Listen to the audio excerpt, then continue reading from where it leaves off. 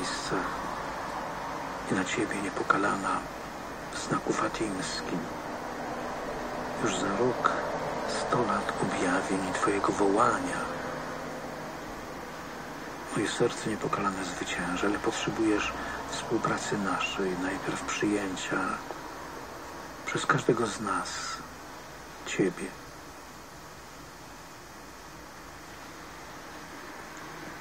Twojego całego przesłania fatimskiego. Nawracajcie się, odmawiajcie różaniec, czyńcie pokutę. Prosisz o pięć pierwszych sobot. Uczyń nas wszystkich apostołami tego wszystkiego, co Ty mówisz do nas. Usprawnij nas, abyśmy byli gorliwsi.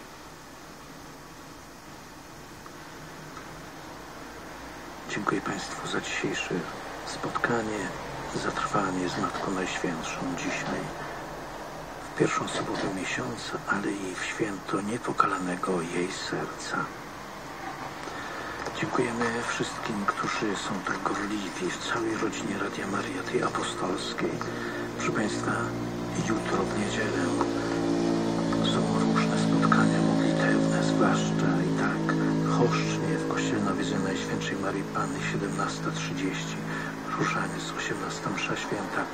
Te intencje to za Ojca Świętego Kościół, Ojczyznę, za episkopat polski, biskupów miejsca danej diecezji, tam gdzie, gdzie jest ta miejscowość tej diecezji, Radio Maryja, Telewizję Trwam, za nas tu posługujących, za nasze rodziny, za żywych zmarłych, za rodziny Radia Maryja.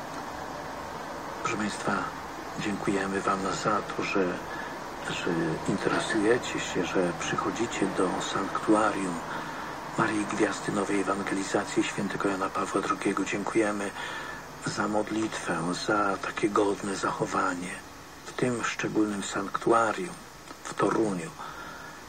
Kilka dni temu dopiero został ono konsekrowane, jest domem Bożym. Przychodzą, przychodzi wielu, przychodzi wielu. Prosimy Was o modlitwę w tym miejscu. Nie tyle o zwiedzanie, czy co o modlitwę. Niech to będzie dom modlitwy. Tam jest Jan Paweł II, szczególnie nie tylko w tej krwi, która jest w relikwiarzu, ale wiem, jestem pewien, że On nam błogosławił. Jest z tym obrazem, przed którym modlił się w czasie swojego pontyfikatu w tej kaplicy watykańskiej, niejako przeniesionej z Watykanu. To jest dokładna replika tamtej kaplicy.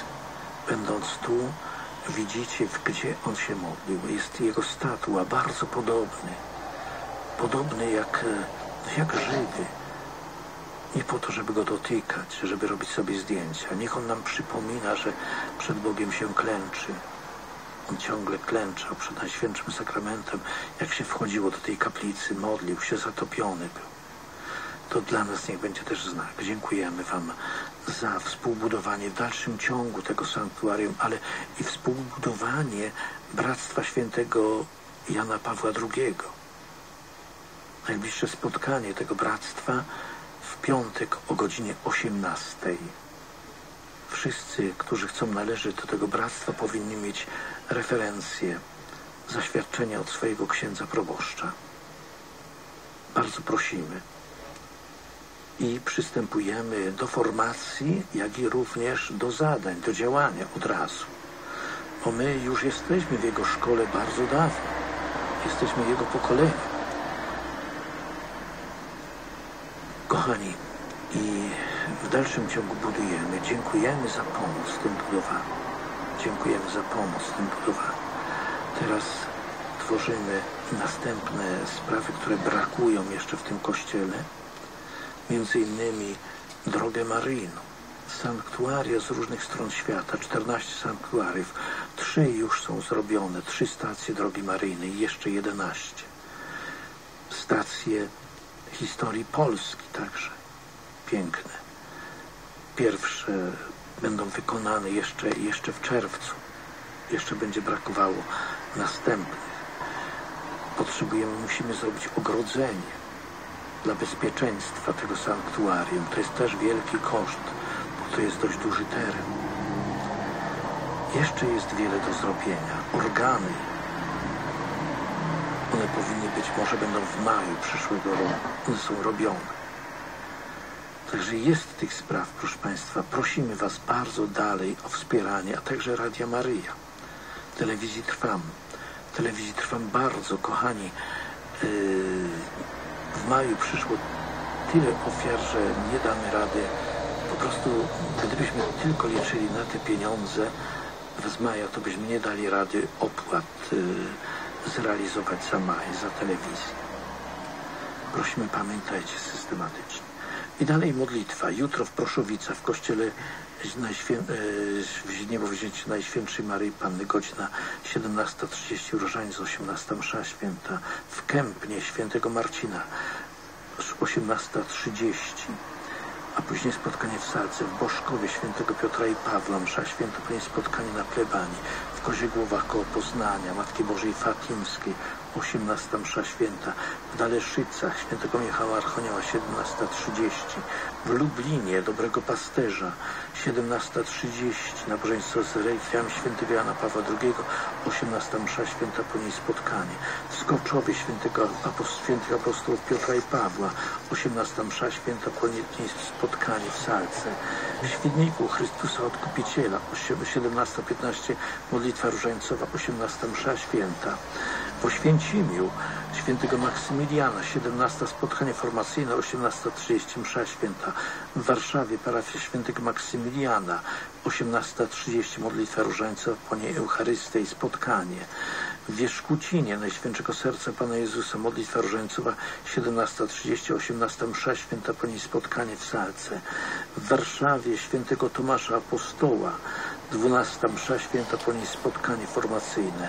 W Getyndze, a więc Polska Misja Katolicka w Niemczech, Getynga, Maria Królowa Polski, Kościół, 12.15 Koronka do Bożego Miłosierdzia i Msza Święta. W Olkuszu pozdrawiam serdecznie moje miasto rodzinne i cieszę się, że tam też jesteście i działacie. Gratulacje. To jest w kościele świętego Maksymiliana Marii Kolbe. Pozdrawiam wspaniałego, dobrego księdza proboszcza też i wszystkich współpracowników. 11.30 msza święta. W Słubicach Świętego Ducha 10.30 msza święta. W Londynie, na Ilingu, proszę Państwa, powiedzcie jedni drugim, także z Polski. Mówcie, dzwońcie tam do rodaków na Ilingu, Londyn. Kościół, Polski Kościół Najświętszej Maryi Panny Matki Kościoła 11.30 msza niej spotkanie w sali świętego Jerzego Popiełuszki i omawianie pielgrzymki. No i oczywiście zapraszamy na pielgrzymkę, kochani, już na drugą niedzielę lipca. Zgłaszajmy się, mówmy, róbmy, róbmy e, już całą informację, zapraszajmy wszystkich bardzo, bardzo serdecznie. I jeszcze jedno, ogromne dzięki wszystkim, którzy wspierają Radio Maryja, i telewizję Trwam, także budowę kościoła. Bardzo dziękujemy. Bardzo dziękujemy i prosimy, mówcie innym. Systematyczna pomoc, kochani. To, co powiedziałem, popatrzyłem tak na złożone ofiary, ile, gdzie, w maju nawet, nawet na połowę tego, co mamy zapłacić za telewizję, na telewizję nie przyszło. Prosimy Pamiętajcie, mówcie jedni drugim, bardzo prosimy, żeby dać radę. Razem wszyscy damy radę. Nikt, nikt nie mówi potem, potem znaczy nigdy. Bóg zapłać wszystkim za wspieranie z dobrym słowem, modlitwą i ofiarą. E, od 20 lat koło przyjaciół Radia Maria w Godziszce paraf pod wzorem Matki Bożej Szkaplenycznej składa ofiary na Radio Maria. Systematycznie wspierają następujące osoby. Pani Tarnawa Elżbieta, Cembala Anna, Ziajka Maria, Byrdy Maria, Pawlik Marianna, Klaczek Józef, Jakubiec Zofia, Sanetra Stanisława, Sowa Dorota, Frydel Janina, Pawlik Maria, Sanetra Genowefa, Klaczek Janina. Bardzo serdecznie dziękujemy proszę Państwa, z Giełzowa jeszcze, Kałuża Stanisław, syn Franciszka, Kałuża Helena i Lucjan, Kaniowska Emilia, Żurawska Janina, Jagieła Jadwiga, Kaniowska Emilia nam to przysłała. Bardzo serdecznie dziękujemy z Giełzowa. Dziękujemy, proszę Państwa, i każdemu. A Pan Jezus widzi, kto pomaga i na pewno, na pewno sam, On sam podziękuje nam kiedyś za wspieranie dzieła ewangelizacji. Matko Najświętsza, prowadź nas. Chociaż parę taktów z zespołem reprezentacyjnym artystycznym Wojska Polskiego. I za chwileczkę już medytacja pierwszosobotnia. Jakże często nawet nie bardzo chce się godnie uklęknąć, wchodząc do świątyni i uczynić znak krzyża, by tym samym zostawić przed drzwiami kościoła nasze świeckie przyzwyczajenia. Jeśli rzeczywiście pragnę się z kimś spotkać, jeśli zależy mi na tym, by jak najlepiej wykorzystać daną chwilę spotkania, to wyłączam radio, telewizor czy telefon. A jakże inaczej to wygląda w naszej codzienności, również i w czasie Eucharystii. Matko ukochana, rozumiem teraz głębiej, dlaczego prowadzisz mnie w pierwsze soboty do spowiedzi świętej i do komunii świętej. Dziękuję Ci za to, że otwierasz mi oczy, że pomagasz mi dostrzec Jezusa, który jest tak blisko. Czasem ktoś mówi, że jeśli zobaczyłby jakiś znak, jeśli w czasie Eucharystii doświadczyłby cudu, widzialnej przemiany, że rzeczywiście Jezus jest ukryty pod postacią chleba i wina, to by uwierzył. Czy jednak na pewno by się tak stało, matko? Wielu oczekuje znaku. Czasem goni za różnymi niezwykłościami, jakby one były ważniejsze niż to, co Bóg w swej mądrości nam pozostawił. Czy jednak cuda umocniłyby Jego wiarę? Przecież tylu widziało, jak Jezus uzdrawiał chorych, wskrzeszał zmarłych, jak nakarmił tysiące, rozmnażając kilka chlebów. Czy jednak te tysiące świadków uwierzyły? Czy wszyscy ci, którzy byli świadkami znaków Jezusa po śmierci Zbawiciela pozostali wierni Jego nauce? Dostrzegli w Nim zapowiadanego i oczekiwanego Mesjasza? Jakże inne są nasze oczekiwania, pragnienia, a inna jest droga Bożej pedagogii. Dziękuję Ci, Matko, za to, że prowadzisz mnie pewną drogą, drogą trudną i wiodącą poprzez tajemnicę, lecz owocną i pozwalającą doświadczyć obecności Twojego Syna. Ufam, że choć trochę ulżę Twemu cierpieniu, jeśli wyznam, że wierzę w to, że Jezus Chrystus jest obecny w Eucharystii, a Ty jesteś Jego Matką, Matką Boga. Jeśli wierzę w realną obecność Jezusa w Najświętszym Sakramencie, tym samym oddaję Ci, Matko, cześć jako Matce Bożej, jako niepokalanie poczętej, jako dziewicy.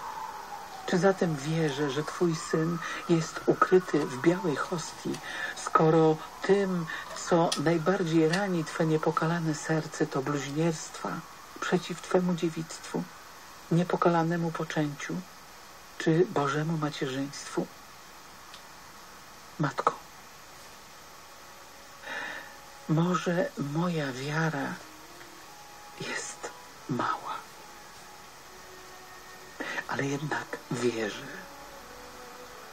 bo dziś jestem przy Twoim niepokalanym sercu. Przyjmij to maleńkie ziarenko wiary jako pocieszenie. Ave Maria.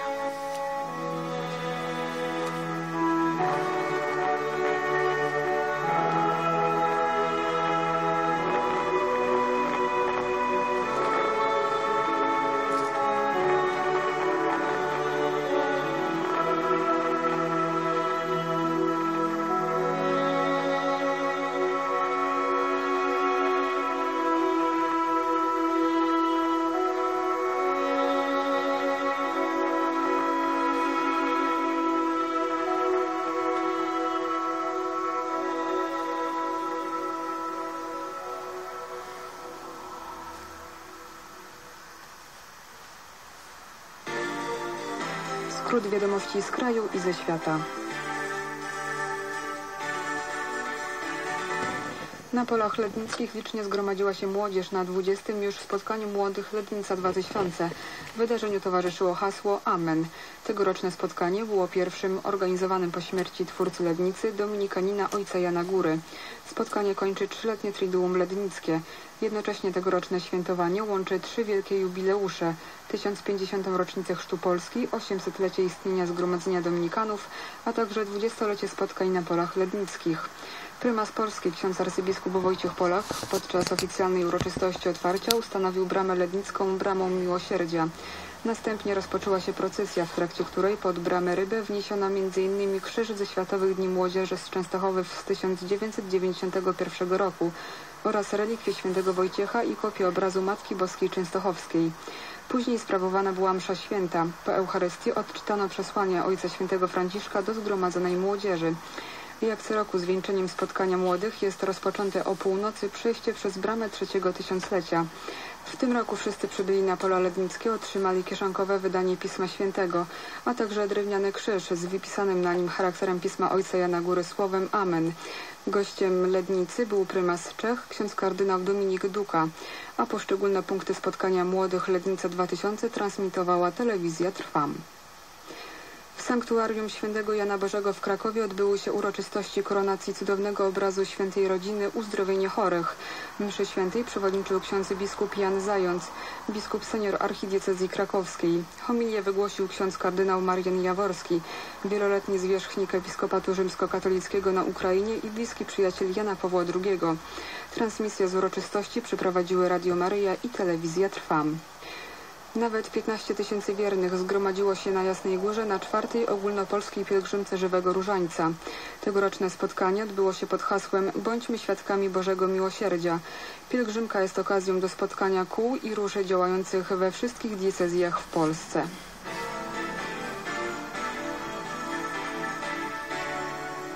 Polacy mają prawo do zmiany, mają prawo do naprawy Rzeczypospolitej, do budowy jej nowego, korzystniejszego dla zdecydowanej większości Polaków kształtu, mówił prezes PiSu Jarosław Kaczyński.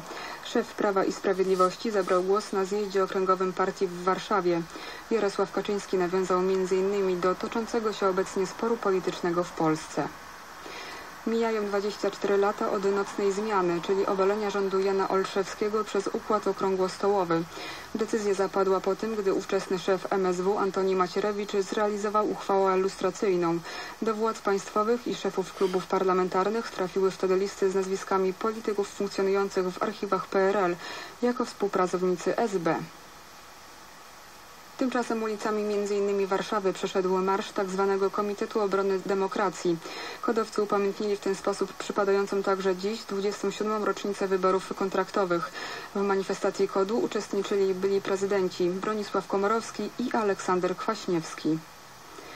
Nie jest wskazane, aby na tym etapie premier Beata Szydło angażowała się w negocjacje w Centrum Zdrowia Dziecka.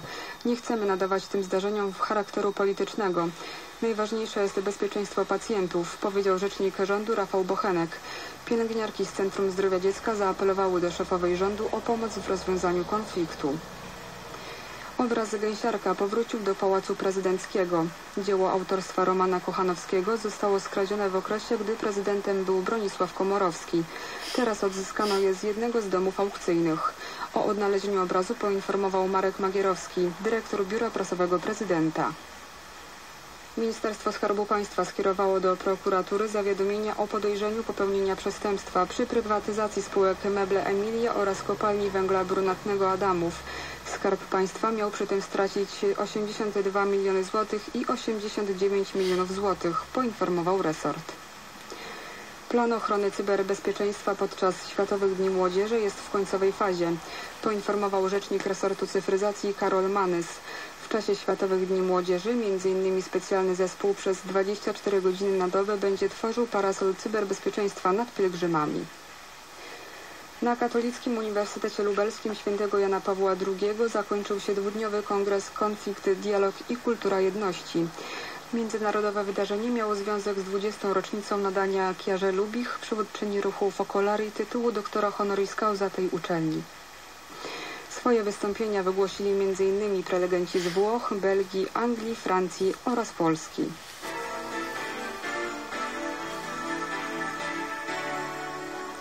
Prezydent Andrzej Duda wraz z małżonką przebywają z wizytą we Włoszech. W niedzielę para prezydencka weźmie udział w Watykanie w uroczystości kanonizacyjnej ojca Stanisława Papczyńskiego. Dziś para prezydencka przebywa w Neapolu. Pompejach zwiedzili wystawę polskiego rzeźbiarza Igora Mitoraja. Następnie prezydent Andrzej Duda złożył kwiaty pod tablicą upamiętniającą Gustawa Herlinga Grudzińskiego w Neapolu. W Palazzo Filomarino para prezydencka zwiedziła wystawę poświęconą pisarzowi, a także spotkała się z jego córką Martą Herling. Cztery osoby zginęły, a 24 zostały ranne we Francji w wyniku największej od ponad 30 lat powodzi, która nawiedziła środkową część kraju i aglomerację paryską. Poinformował premier Manuel Val. Jedną z ofiar śmiertelnych jest trzyletni chłopiec.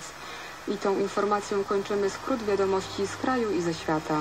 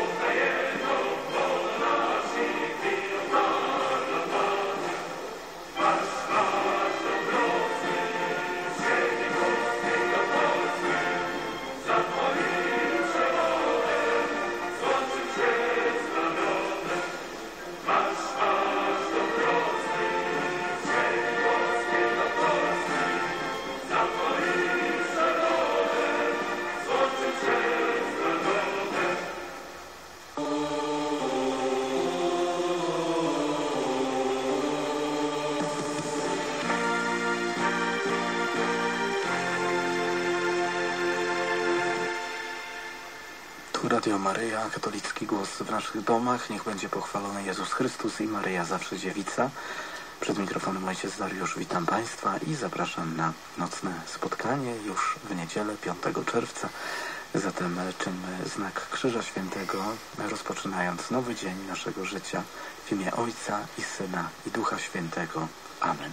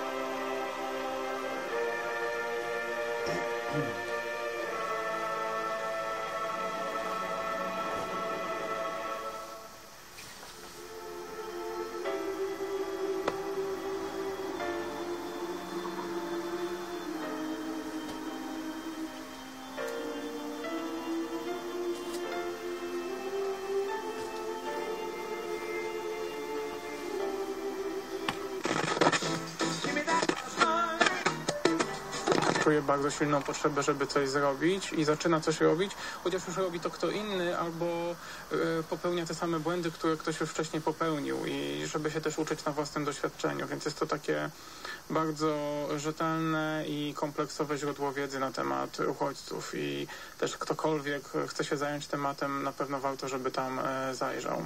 Ale czy to jest portal dla tych, którzy są e, przeciwni uchodźcom jako takim?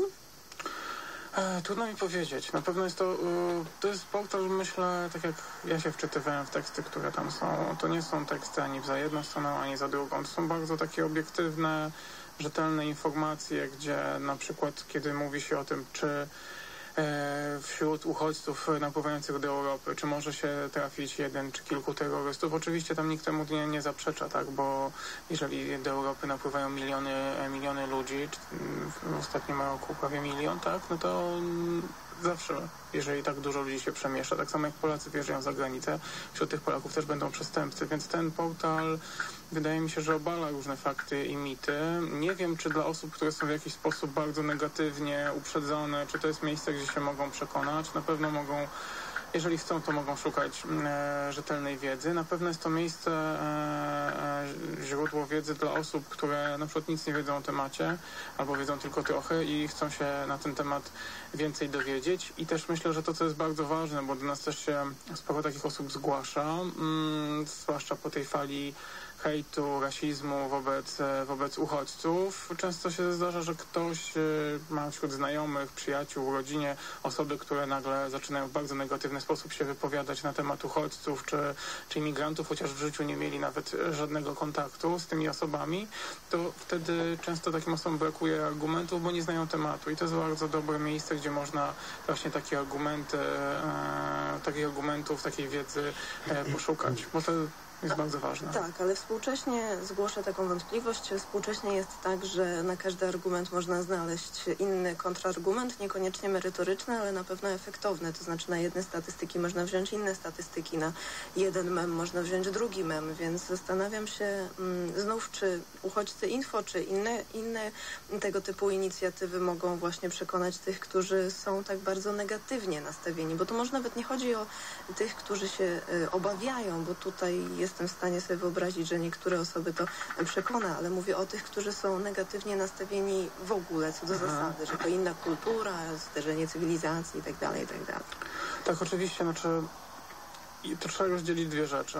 E, uważam, że osoby, które zajmują się pomaganiem uchodźcom, czy sprawami migracyjnymi, integracyjnymi, e, dobrze, jeżeli dostarczają ogólnie pojętemu społeczeństwu rzetelnej wiedzy. I jedną z takich metod jest tworzenie takich właśnie narzędzi, takich portali. Jest to potrzebne i, nie, nie, i trzeba to robić. Natomiast kwestia przekonania, zmiany społecznej, nastawienia do cudzoziemców, obcokrajowców to jest dużo szerszy temat i niestety tu jest potrzebna też wola polityczna i e, rządzących i też długo zaplanowane działania, dlatego że niestety w tym momencie u władzy jest partia, która między innymi doszła do władzy przez to, że mm, ukazywała w negatywnym świetle uchodźców imigrantów, pokazując tak zwanego wroga obcego jako zagrożenie. Są to bardzo populistyczne, bardzo niebezpieczne i stare mechanizmy stosowane też na przykład jak Hitler dochodził do władzy, to są te same dokładnie mechanizmy, te same techniki i niestety e, PiS dalej utrzymuje tą tendencję, bo nie tylko doszedł do władzy między innymi dzięki temu, ale też chce się utrzymać u władzy i to jest bardzo niebezpieczne.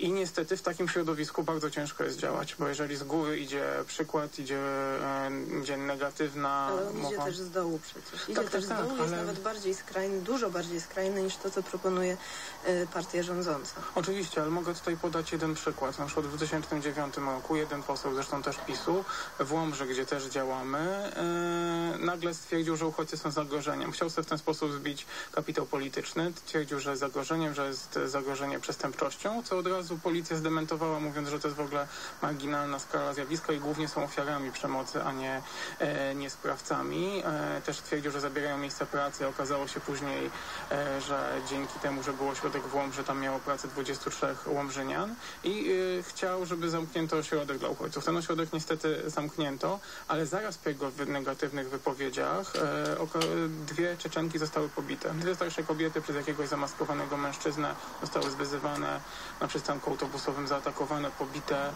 E, I sytuację w pewnym sensie uratowało to, że dwóch jakichś innych mężczyzn, Polaków, e, przepędziło tą osobę, ponieważ przyszło tutaj im z, z pomocą. Natomiast e, mówię o politykach dlatego, że jeżeli z góry idzie przyzwolenie, nawet jeżeli to są subtelne komunikaty, jeżeli to są niedopowiedzenia, półsłówka, no to na dole się zaczyna dziać, tak w cudzysłowie, na dole coś coś strasznego. I nawet niestety, kiedy e, zaczęła się w ogóle w Polsce dyskusja na temat e, przyjmowania uchodźców w zeszłym roku i jeszcze pani premier Kopacz zaczęła o tym mówić, to niestety, kiedy nas poproszono jako Polskę, żeby przyjąć 2000 uchodźców, to moim zdaniem należało powiedzieć, że 2000 w Polsce, kiedy mamy te 40 prawie milionów mieszkańców, to jakiś żart, tak? Przyjmijmy 20 tysięcy albo jeszcze więcej, bo to jest ludzkie, potrzebne, bo Polacy też byli uchodźcami i że należało powiedzieć ludziom, że rozumiem, mm, że się boicie, ale my zrobimy wszystko, żeby, żeby to zadziałało. A niestety poszedł zupełnie inny komunikat. Zaczęto ludzi nie wprost straszyć uchodźcami już wtedy, mówiąc, że przede wszystkim mówi pan, że jeszcze za wykopać. Tak, tak, oczywiście, bo to jest też brak jakiejkolwiek polityki rządu, plus jeszcze oczywiście to był e, czas wyborów. No Natomiast przecież się zgodzono na to mniej więcej. ale to jest taka zgoda, która jest bardziej wymuszona. To, to, to jeżeli chcemy, żeby nasze społeczeństwo mm, składało się z ludzi, którzy w ogóle chcą pomagać innym, jak komukolwiek, życzliwych, e, otwartych, no to nie, nie możemy odmawiać pomocy e, w tej sytuacji, która jest teraz. A niestety wtedy zaczęto mówić ludziom, że przede wszystkim państwo zadba o bezpieczeństwo. A jeżeli państwo mówi, że musi zadbać o bezpieczeństwo, to znaczy, że jest zagrożenie. I, na, I mówię o tym dlatego, że nie muszą być komunikaty wprost. To jest e, bardzo, bardzo delikatna sprawa. Ale czy ja dobrze rozumiem, że pan e, uważa, że obecny podział, który swoją drogą jest dość zadziwiający, że w ogóle istnieje, istnieje coś takiego jak linia podziału na tych, którzy są za czy przeciwko uchodźcom, których to uchodźców jest, nie wiem, mało, bardzo, bardzo, bardzo mało w Polsce, że to w ogóle jest jakiś temat, który się na przykład odbywa na imprezach, że jakieś e, grupy ze sobą dyskutują, że to funkcjonuje. Czy pan mówi, że gdyby od początku o tym temacie polskie władze e, poprzednie mówiły inaczej, bardziej otwarcie, że być może to by inaczej ustawiło cały e, pogląd społeczeństwa, czy jednak m, przypadkiem nie jest tak, że społeczeństwo już miało swój pogląd? W Polsce jest tak mało uchodźców i tak mało uchodźców było od wielu lat, y, że uważam, że większość osób nie miało żadnych sprecyzowanych poglądów, że większość to jest kwestia tego, jak media przedstawiały uchodźców, czy też w jaki sposób przedstawiały zamachy terrorystyczne i też to, jak na to, e, na to zareagowała władza. Jestem przekonany, że gdyby reakcja była inna, nastawienie społeczne też byłoby inne. Z tym, że oczywiście byłyby obawy, były, e, byłyby lęki, dlatego że jest to naturalne i też jest bardzo ważne, żeby o tych wszystkich obawach rozmawiać i to w sposób rzeczowy, a też nie e, zakrzykiwać osób, które mają obawy tym, że na przykład uchodźcy są wspaniali, cudowni, nie ma między nimi nikogo niebezpiecznego. Nie, trzeba mówić o tym w sposób realny, trzeba mówić o wyzwaniach, o trudnościach, e, jakimi się, z jakimi się wiąże integrowanie ludzi i przyjmowanie. Trzeba o tym wszystkim w rzeczowy, konkretny sposób e, rozmawiać. Natomiast no, niestety tutaj linia tego czy innego rządu poszła w stronę emocji, w stronę strachu, lęku i no i niestety dalej, dalej to trwa. A jak to wygląda z Pana mm, perspektywy, z perspektywy NGO-sów trzeciego sektora? Czy to jest tak, że ten temat e, uchodźców e, funkcjonuje nadal? Bo jeśli chodzi o media, to jest tak, że jest górka i dół, górka i dół. Raz jest wzmożenie, że się o tym mówi, mówi, mówi, potem się nie mówi w ogóle. E, zastanawiam się, jak to wygląda mm, w Pana świecie. Czy to jest tak, że co chwilę dzwonią nowe osoby i chcą pomagać, czy różnie to bywa? Czy może w ogóle nie ma takiego wzmożenia wyjątkowego ostatnio? Myślę, że dalej jest zainteresowanie, że dużo ludzi się zgłasza, żeby pomóc. Czasami wręcz e, zgłasza się więcej osób chcących pomóc, niż my możemy zagospodarować, więc wtedy mówimy, że niestety nie możemy, bo też nie chcemy, żeby ktoś tracił czas, tak? kiedy wiemy, że nie skorzystamy z tego czasu, ale nawet na przykładzie darów rzeczowych, bo też no, osoby, które uciekają tutaj przed wojną, a trzeba pamiętać, że mieliśmy przyjąć 2000, tak? później 7 tysięcy, na razie nic z tego nie wyszło. E, natomiast y, średnio do Polski przyjeżdża około 10-15 tysięcy uchodźców rocznie, osób starających się o status uchodźcy i im też trzeba pomagać, bo są ludzie, którzy wszystko stracili. Więc nas bardzo dużo ludzi się zgłasza, czy to z ubraniami dla dzieci, e, z meblami, z, z, bardzo wieloma rzeczami i niestety no, nawet często nie mamy gdzie tego przechowywać, tak? Więc akurat w tym momencie staramy się tutaj od miasta o dodatkowy lokal, żeby też móc te dary przyjmować i redystrybuować, bo, bo potrzeby są duże. To jest bardzo wiele osób się też zgłasza na wolontariat. Zgłaszają się, tak? Tak, więc y, myślę, że to jest też ważne, żeby o tym mówić, bo głównie się widzi i słyszy o tym, jaki jest hejt, jaki jest rasizm, jaka jest nienawiść. Natomiast bardzo wiele osób chce pomóc, jest otwartych e, i czuje się wręcz e, w obowiązku, żeby po prostu pomagać.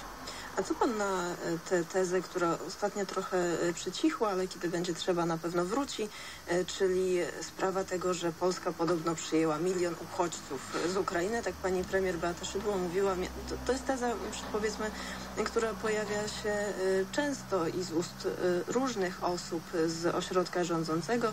W każdym razie zacytujmy, Polska przyjęła milion uchodźców z Ukrainy, którym nikt nie chciał pomóc. Oni dzisiaj są u nas i im pomagamy, o tym też trzeba mówić. To słowa pani premier podczas debaty w Parlamencie Europejskim o sytuacji w Polsce. To gdzie ci uchodźcy są i gdzie są ośrodki z uchodźcami z Ukrainy? To jakby to powiedzieć.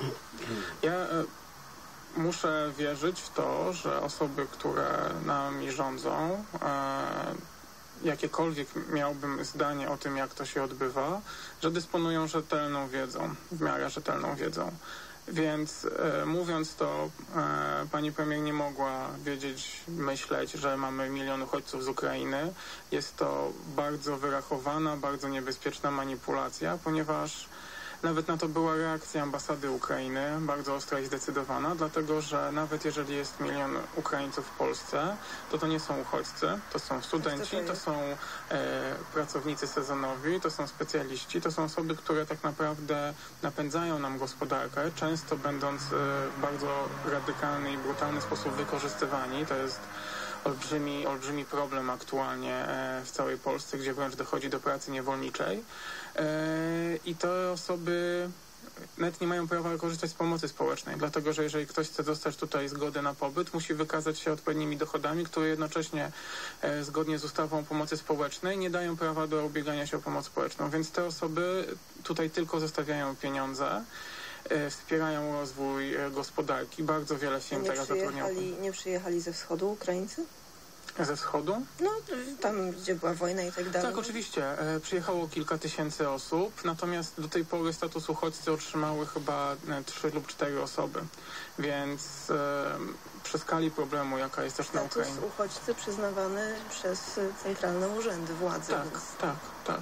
Więc i tak, i a, a o ten status ubiegało się chyba 6 tysięcy, może więcej. E, no, poniżej 10 tysięcy ludzi na pewno, więc to w porównaniu do osób, które tutaj przyjeżdżają, żeby pracować, studiować i zwykle też pracować, to jest w ogóle żadna ilość, tak? I przy czym na Ukrainie jest olbrzymi problem, bo jest już tam ponad milion, jeżeli nawet nie półtora miliona e, uchodźców wewnętrznych, czyli osób, które musiały uciekać przed wojną, ale nie mają szans, żeby wyjechać gdzieś za granicę. Też wiedząc, że tutaj nie dostaną żadnej pomocy, więc mówienie o tym, że my przyjęliśmy i komuś pomogliśmy jest hipokryzją. A jeśli ktoś chciałby pomóc y, tak pojedynczo, y, to gdzie się może zgłosić? I też jeszcze zapytam, czy mm, może Pan podpowiedzieć tym osobom, które nie mieszkają na przykład w dużych ośrodkach miejskich, bo kliknęłam teraz w Kto już działa na Uchodźcy Info, no i mamy jednak tutaj y, duże miasta, są zaznaczone na mapce. No jeśli ktoś jest z mniejszego miasta, gdzie nie ma takiej możliwości, to jest jakiś pomysł? Na, na Uchodźcy Info właśnie jest też ten dział, kto już działa, żeby wiadomo było, do jakich organizacji można się zgłaszać, jeżeli ktoś ma zapał, jeżeli ktoś ma jakąś chęć pomocy. To, co każdy człowiek może zrobić, to starać się dowiedzieć więcej o, tym, o tej sprawie i po prostu rozmawiać z ludźmi ze swojego środowiska. To jest bardzo ważne, chociaż często jest bardzo też ciężkie, niełatwe. Można też organizować różnego rodzaju zbiórki, ale tylko wtedy, kiedy wiemy, że e, to będzie e, miało sens i że się to komuś e, przyda. Jeżeli ktoś jest, nie ma jak się bezpośrednio zaangażować, też to, co każdy może zrobić. I to jest też niepopularnym tematem, można wspierać organizacje działające na rzecz uchodźców finansowo. Jest to bardzo ważne, też szczególnie teraz, kiedy widzimy, że raczej tendencja rządu jest taka, żeby te fundusze dla organizacji obcinać, a też jest bardzo ważne to, że organizacje pozarządowe, tak? Czyli my musimy działać bez względu na to, jaki mamy rząd, czy on jest przychylny naszym działaniom, czy nie. I tutaj jest duży ciężar odpowiedzialności za to, jak, e, jakie mają możliwości organizacje pozarządowe, jest też na samym społeczeństwie. Jeżeli uważam, że dana organizacja robi coś dobrego, uważam, że to jest cenne, potrzebne, to nie trzeba dużych kwot, można kilka złotych nawet miesięcznie wpłacić. Jeżeli zrobi to odpowiednio dużo ludzi, to za to można już bardzo konkretne działania zrobić. Można zapewnić pomoc, w tym pomoc specjalistyczną, której niestety nie można zorganizować tylko na podstawie powiedzmy pracy wolontariackiej. Na uchodźcy info mogą Państwo znaleźć e, informacje, które oczywiście proszę interpretować według e, własnego rozumu i własnej woli. Są także mm, informacje o tym, kto już działa, a także dział wydarzenia. Na przykład dzisiaj e, będzie dzień otwarty w ośrodku dla cudzoziemców starających się o status uchodźcy. To w Lininie koło Góry Kalwarii. To na przykład dzisiaj, ale kalendarz ciągnie się jeszcze na ładnych e, parę stron. Pan Piotr Bystrianin z Fundacji Osalenie opowiadał dla Państwa. Proszę bardzo. I jeszcze jedną do- dodam rzecz. Można też wywierać nacisk na władze, na rządzących, czy to władze lokalne, czy władze na e, szczeblu centralnym, uczestniczyć też w demonstracjach, wszelkiego rodzaju akcjach Solidarności. Jest to bardzo ważne, bo jeżeli chcemy jeżeli chcemy być e, społeczeństwem otwartym, to trzeba też pokazać publicznie. Piotr Bystrianin, dziękuję bardzo. Dziękuję bardzo. Za chwilę informacji. To jest powtórka. Słuchają Państwo Radia Tok FM, Karolina Głowacka, a teraz pora na książkę w studio. Autor, pan Michał Piedziewicz. Dzień dobry. Dzień dobry. E, Autor książki Joker, Gdynia Miasto Cudów, wydawnictwo MG. E, To jest e, książka, powieść umiejscowiona, jak się można dość łatwo domyślić, w Gdyni. Akcja zaczyna się w roku 1929. Sięga do początków wojny i opiera się o trójkąt miłosny, ślicznej urzędniczki pocztowej Łucji, młodego dziennikarza Adama oraz Krzysztofa, postaci wielce barwnej, weterana i bądź co bądź y, przemytnika.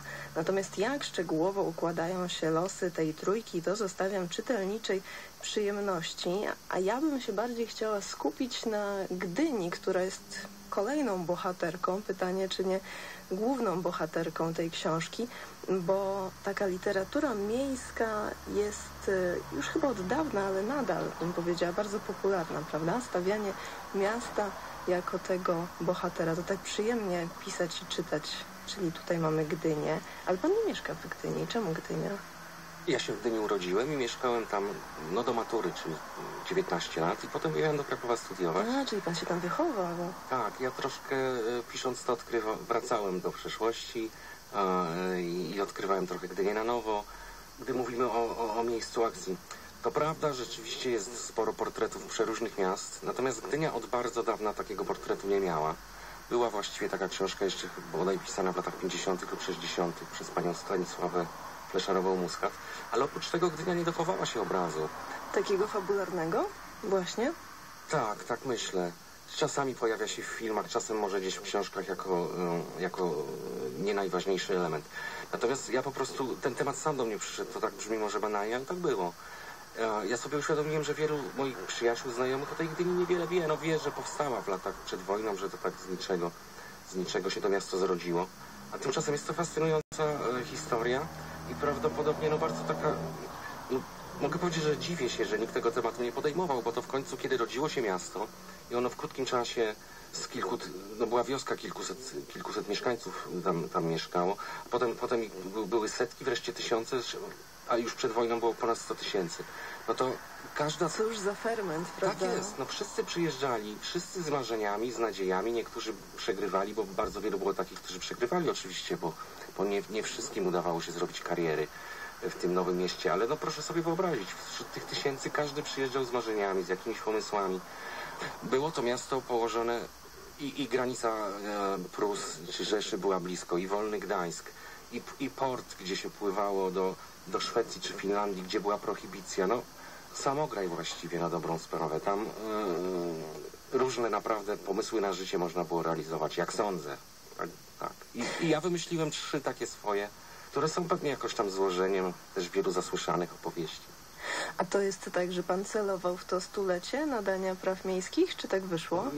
Nie. y, W którymś momencie może decyzja o wydaniu, ono zostało może troszkę opóźnione, bo już było wiadomo, że będzie, y, nawet 90-lecie, to było 90-lecie Właśnie, teraz. przepraszam. Tak. Mhm. I, I no tak, to troszkę wstrzymaliśmy z, z panią wydawczynią jakby decyzję o wypuszczeniu tego na rynek, bo już to rzeczywiście bardziej pasowało, żeby to wypuścić blisko, blisko tej rocznicy 10 lutego.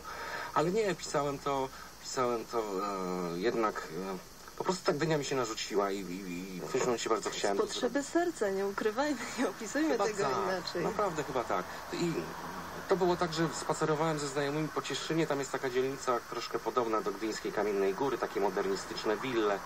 Zaczęliśmy rozmawiać i nagle naprawdę mnie to uderzyło. Mówię, nikt tego, nikt o tej Gdyni nie opowiedział. A kolega powiedział, to ty to zrób. To było takie zgłupia Franc trochę, ale naprawdę od tego się zaczęło. To, to, to tak czasem bywa, że, że, że e, roczna praca zaczyna się od takiego prostego, e, rzuconego właściwie na wiatr, się wyda, wydawałoby się zdania. To tak jest. Roczna praca, czyli tutaj mamy dużo pracy takiej researcherskiej, powiedziałoby się, tak? Na pewno tak, musiałem troszkę docierać do przeróżnych źródeł, e, oglądać stare zdjęcia, czytać stare gazety, ale oprócz tego, ponieważ jest to mój debiut, więc ja też nie umiałem pisać i ja nie pisałem zawodowo, e, nie, też nie mogłem się temu poświęcić, więc po prostu bardzo dużo czasu zajęło mi też samo pisanie, które jest tak naprawdę, ja, ja bardzo lubię moment wymyślania historii, tego jak się, kiedy... Konstruuje się tak, bohaterów. Tak, sylwetki bohaterów zaczynają się kształtować, potem relacje między nimi. Ale samo pisanie jest dosyć trudne i żmudne i e, nie powiedziałbym, że to jest taka najprzyjemniejsza rzecz e, do robienia, bo tak się czasem może wydawać. Także to no, troszkę zajęło mi to sporo. Tak, to wielu pisarzy podkreśla, że to naprawdę nie jest tak, że przychodzi oto wena i zasiadam i słowa spływają, tylko to jest krew pod i łzy często i przykuwanie się do kaloryfera, żeby przypadkiem nie uciec e, Tak, no, ale, z tego, ale te prawda? momenty wymyślania są czasem euforyczne, kiedy się, ach, znajduje się rozwiązanie. Że to jest to, tak? Tak, że ten splot akcji może tak wyglądać, że to, że to będzie dla innych ciekawe. Ale no też zdarzają się z kolei momenty, że no nie skończę. No, mam trzy czwarte napisane, ale, ale już nie dokończę tej książki, bo, no bo nie wiem, co z nimi zrobić. Ale potem to znów... Tak? Nie wiedział pan, czym to się skończy? Nie, to mm, może tak główny wątek to, to nie, to rzeczywiście y, ja właściwie od początku wiedziałem tak, jak to się skończy. Ogólnie wiedziałem, do czego chcę ich doprowadzić, do jakich stanów psychicznych czy duchowych. No tak, ale niektórych wątków powiedzmy, nie, nie wiedziałem, myślałem, że zabrnąłem ślepą uliczkę, że, że, że to nie, nie, jakoś nie będzie czytelne i wtedy, wtedy trzeba parę dni odpocząć właściwie i potem, potem znów wraca ta euforia. Nie łatwe jest życie debiutanta, szczególnie, że nie jest to książka e, krótka. Tutaj mamy blisko 500 e, stron ładnie wydane, razem z fotografiami także Starej Gdyni. Ale skoro mówi Pan, że tak dużo osób tak mało o samej Gdyni wie, bo chyba faktycznie ona jest trochę przysłonięta z jednej strony tym dominującym Gdańskiem, z drugiej Sopotem tym kurortem i Gdynia w zasadzie właśnie funkcjonuje tylko jako taka kalka, no powstała wtedy i wtedy, bo coś tam, a teraz jakoś myśli się o niej mniej. Ale myślę, że możemy przypomnieć o tym. Jasne, wszyscy mniej więcej wiemy, dlaczego Gdynia powstała, ale jakby Pan to przypomniał, skąd się wziął pomysł na to, żeby tak po prostu postawić tam port i miasto. Polska potrzebowała y, po, po, po, po zjednoczeniu, po zaborach, po odzyskaniu niepodległości, potrzebowała portu, potrzebowała eksportować węgiel. Węgiel był naszym właściwie najważniejszym takim dobrem, na którym kraj mógł zarabiać. Natomiast Gdań, y, Gdańsk był niby wolnym miastem, ale właściwie rządzili tam Niemcy i oni nie bardzo chcieli, a y, narzucali cła, no, blokowali ten rynek. Dlatego to musiała być bardzo szybka decyzja. No, właściwie już chyba w 1923 roku te decyzje zapadły. Ale było kilka konkurencyjnych wersji. Yy, o, Ład, Władysławowo, tak, mhm. Władysławowo było brane pod uwagę. Czyli wtedy Gdynia jest schowana w zatoce, tam powiedzmy jest bezpieczniej po prostu pływać, wpływać i tak dalej. Zupełnie inaczej by to wyglądało, kiedy u nasady Półwyspu Helskiego powstałoby pewnie takie samo 300-tysięczne miasto wielkie. Ciekawe jakby to wyglądało. Pewnie Półwysep byłby jeszcze bardziej zajechany, rozjechany samochodami i tak dalej. No więc tak. Więc no, to była taka potrzeba gospodarczo-polityczna. Jak najbardziej gospodarczo-polityczna.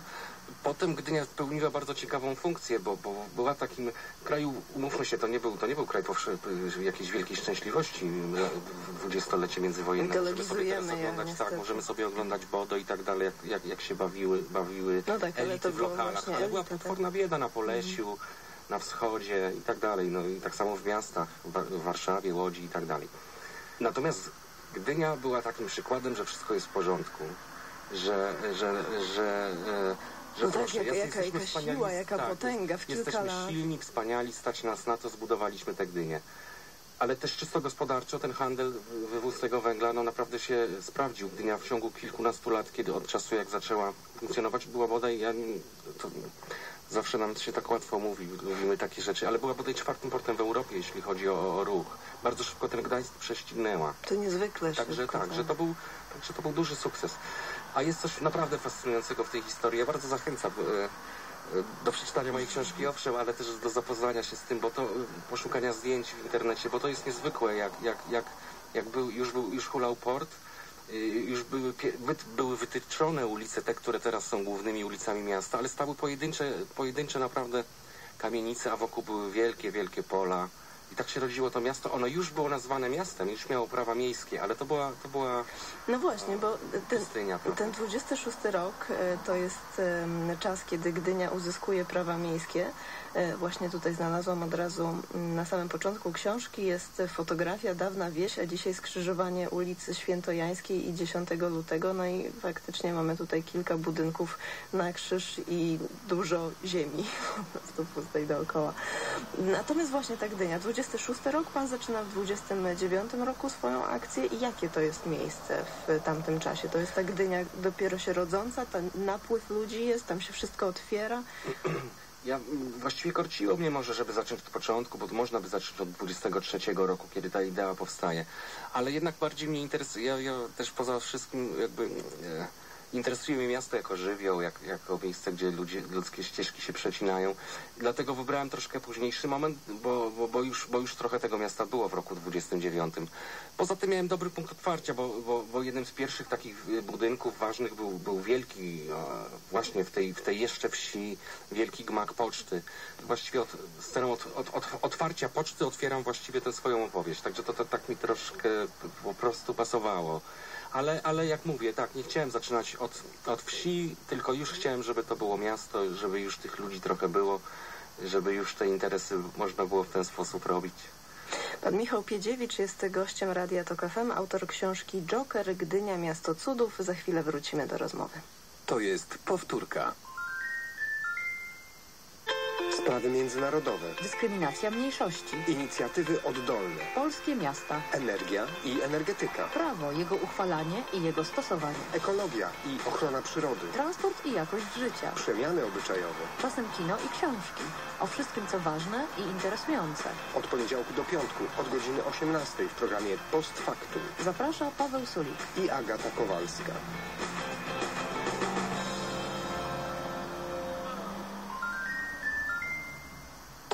Powtórka. Karolina Głowacka, słuchają Państwo Radio Tok FM. Dziś e, w tym momencie w Radio Tok FM o książce, konkretnie o książce Joker, Gdynia, Miasto Cudów. Studio autor, pan Michał Piedziewicz. Dzień dobry ponownie. Dzień dobry.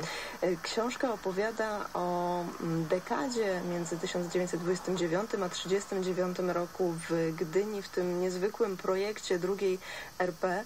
Mówił Pan przed skrótem informacji Radia Tok FM, że mm, no, często zapominamy o tym, że druga RP to był kraj bardzo biedny przecież, e, że raczej je postrzegamy właśnie przez Bodo, czy jakieś te opowieści o elitach siedzących w kawiarniach i tak dalej, a kraj był biedny, a ta Gdynia miała funkcjonować jako e, przykład tego, że oto potrafimy, że, że umiemy, ale czy to była autentyczna duma, czy to była dość taka wyrachowana propaganda władz? Mm, Myślę, że i tak, i tak.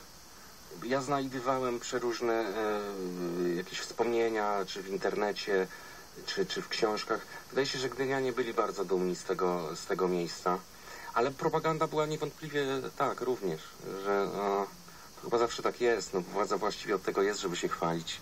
E, no i, Gdynia była tym takim przykładem, którym no, chwalić się było być może najłatwiej. No też trudno mi powiedzieć, e, No tak. tak, tak, tak, sobie to wyobrażam, że mogła się władza chwalić. Ale to nie zmienia sytuacji, że Gdynianie też byli dumni. To, to, to jestem przekonany. Y, Musimy pamiętać, że mnóstwo ludzi, którzy tam przyjechało, potem wracało z niczym, bo to nie było tak, że każdy mógł tam się zrealizować. To jednak to był... był nie pasuje może mi to słowo tutaj, żeby powiedzieć wyścig szczurów, bo to jest takie trochę negatywne, ale tak, tak, tak było. No nie wszystkim się udawało. Dzielnice biedy były potężne. Ale kto wszyscy tam zjeżdżał? Kto tam zjeżdżał właśnie? Z okolicy, z całej Polski? Z całej Polski zdecydowanie, tak. Pewnie Kaszubi z okoliczni też przybywali, ale, ale, jednak, ale jednak z całej Polski, tak. Y, y, Korzenie rodów, takich teraz już gdyńskich, y, to rzeczywiście sięgają i, i, i wschodu, którego już dzisiaj tutaj, nie, którego już nie mamy, i Śląska, i Warszawy. No i ściągał też świadek przestępczy, o który pan opisuje dość wyraźnie. To jest wyraźny wątek. Jak zwykle oczywiście jest to kuszący wątek dla autora. A, ale to jest też mm, zabawna sytuacja, bo nie ma wielu świadectw o tym, żeby o takich przestępczych, tak jakby może to troszkę było tuszowane, jakby się o tym nie pisało. No właśnie, bo to ciekawe, bo to skoro mówiliśmy o tym, że to jest taki moment fermentu, zjeżdżają się ludzie, to się wszystko układa, jeszcze nie ma przecież poustawionych takich ról, kto tutaj, nie wiem, rządzi w mieście czy coś takiego, no to to jest wręcz doskonała sytuacja właśnie do tego, żeby zjechali się ci, którzy chcą zdobyć terytorium i tak dalej. Nie wiem, nigdy nie byłam przestępcą, ale wydaje mi się, że tak to może funkcjonować. No, tymczasem nie ma opisów y, na przykład zorganizowanej przestępczości. Wiadomo na przykład, że była taka i w Warszawie, i w Łodzi, bardzo silna była w, w Wilnie. W przypadku Gdyni nie ma takich historii. Z drugiej strony są historie pojedynczych, takich, przy, y, takich powiedzmy, powiedzielibyśmy, wątków pojedynczych, przestępczych. By- Był duży przemyt. Jak mówię, no jeśli była prohibicja w krajach skandynawskich, to cała, Długo cała nie reszta... trzeba było czekać, Tak, tak. cała reszta Bałtyku próbowała z tego korzystać. E, I to są czasem bardzo zabawne rzeczy o tym, jak w kaloryferach wręcz był przy, spirytus y, przewożony statkowy. Potem przychodziła niby jakaś taka inspekcja w Szwecji, otwierała kaloryfery i spuszczała ten płyn i potem to gdzieś dalej szło. Są naprawdę, ja, ja troszkę wykorzystałem ten, ten motyw. Jest taka była historia tego, że, ym, że z Nowego Jorku pojawił się wysłannik, który w Gdyni zamówił statek i który pływał do Nowego Jorku y, i był rozładowywany no, przy, na rzece Hudson, czyli wpływał bardzo głęboko, to musiały, to musiały być już jakieś mafijne powiązania, że taki statek wpływał i był niekontrolowany i wszystko. e, więc, więc takie rzeczy się działy. Wiadomo, że była taka, taka przemoc y, chuligańska tam pod portem. No ludzie się po prostu okradali, no tak, tak, tak było. Jed- banalna, jedni zarabiali i wychodzili z wypłatami, to, to inni ich ich ogradali. Było pijaństwo, no bo musiało też być. Tam przyjeżdżało bardzo dużo przede wszystkim samotnych facetów, bo jeśli oni szukali pracy, no to, to, to uchodźcami czy poszukiwaczami pracy są jednak właśnie mężczyźni, co teraz nas niby bardzo dziwi, no ale tak jest. A, w związku, że, ponieważ byli to mężczyźni, to, y, y, to było łatwiej tak Zdenerwować ich. denerwować się tak nawzajem na siebie, więc było dużo takiej przemocy. Ale jak mówię, nie ma świadectw, żeby, żeby istniała jakaś grupa, która miała określonego herszta, strukturu, Ale to struktury i tak faktycznie dalej. aż podejrzane, prawda? No, więc ja, więc ja sobie to pozwoliłem wymyślić trochę na zasadzie takiej, że musiało tak być. E, że, że, no, bo nie wie, no właśnie, ciężko mi uwierzyć, żeby, No tak, w sytuacji, gdzie jest y, raz, że jest ten ferment, No, dwa jest pie, pieniądze przecież Tak, tak. przepływają, no to aż trudno sobie wyobrazić, żeby mogło być y, inaczej. A jakież